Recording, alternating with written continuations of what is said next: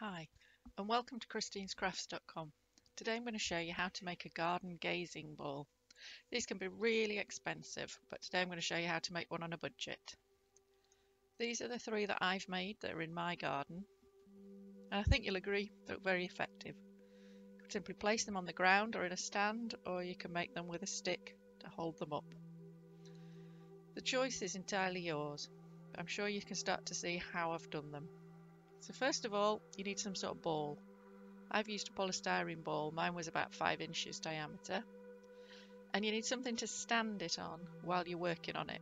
I've just used a little ramekin dish, but use whatever you've got. Then you're going to need your glass beads or pebbles, as they're sometimes known, that you can stick onto it. They have a flat side so that they stick on nicely. I'm actually going to stick them on with hot melt glue. So you're going to need a hot melt glue gun. Doesn't matter what size. If you want to put it on a stick, clearly you're going to need a stick. And it's optional, but you may want to use some clear silicone sealant to seal it all to make it more weather resistant. I'm not showing that in this video, but you can do it at the end if you want to. So take your ball, get your glass beads, and you are simply going to cover it. So you're going to get your hot melt glue, put a little bit on each glass bead, and then stick it on. Now, obviously I've sped this up because it'd be very boring to watch me do all of it.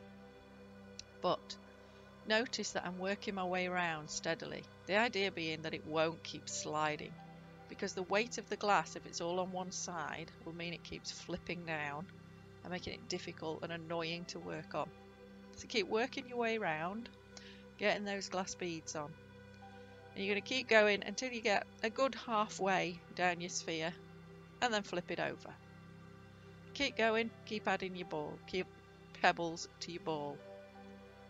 If you're going to put a stick in, I suggest you drill a hole to put it in, a little bit smaller than your stick, and that very soon before you get to the top of your ball, you put the stick in to make sure you can get it in and you haven't put a glass pebble in the way. Okay, and then that's it, you're done. Once it's covered, it's all finished. If you want to silicone it, like I have done mine, you can do. But to be honest, I'd still recommend bringing them in in the winter. I don't think they're going to be completely weather resistant. So mine are catching the light as the sun filters through dappled shade from the tree, and I love them. So once again, you've been able to craft and do it on a budget. So thank you for watching. I hope you've enjoyed it, and I hope you enjoy making your own gazing ball.